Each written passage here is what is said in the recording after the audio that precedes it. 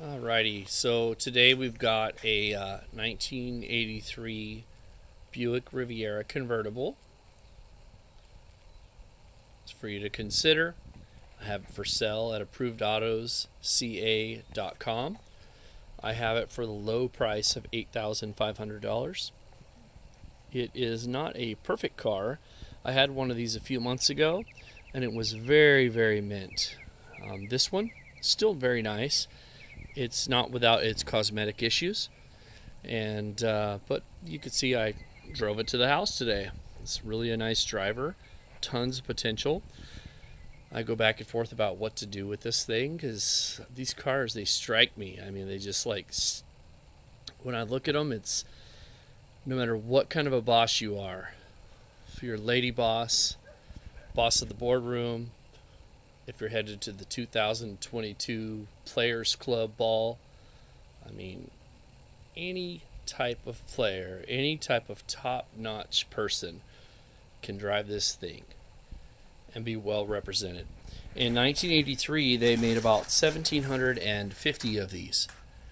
They were very expensive to produce. They were, um, I guess, they were around $24,000 at that time, which doesn't sound like a lot of money by today's standards, but back then, that was money. It was actually $10,000 more to get a uh, convertible because um, Buick would send those out and then have an outside company to do that. So that's why they're not super common. They sold them for a few years. They didn't sell well because of the cost point. So just going to show you this interior.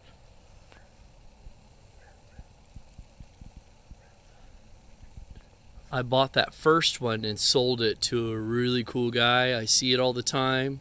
When I go to the cruise nights, I, I love that he, he waves, he honks, says what's up. And then I bought this one, and I was hoping it would be in similar condition. But the guy I bought it from down in San Diego, he was a turd.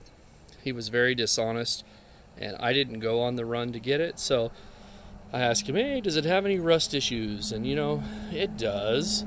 And he could have told me that but he didn't. So, guy in San Diego, you're a turd.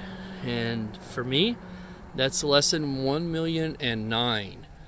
But on the upside, this thing runs really good.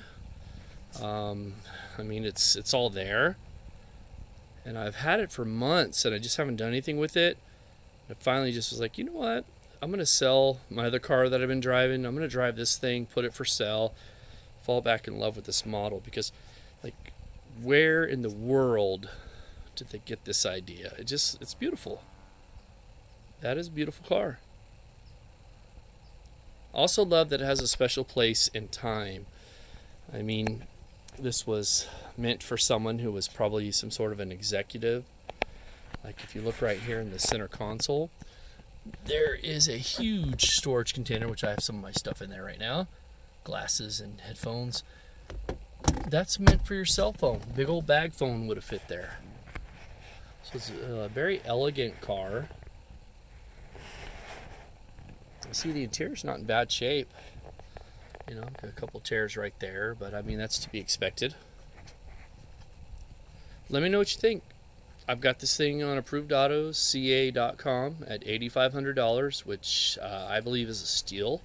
I just saw one go and bring a trailer for I stopped watching, but it was around eleven thousand dollars, and uh, it was nicer than this one. But then I had my last one; it went for somewhere in the neighborhood of fifteen grand, and it didn't take me very long at all to sell it. So uh, hit us up if this is your cup of tea, and um, we'd be more than happy to try to make you an owner.